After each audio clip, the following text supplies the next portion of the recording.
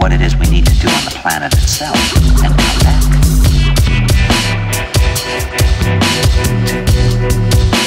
come back.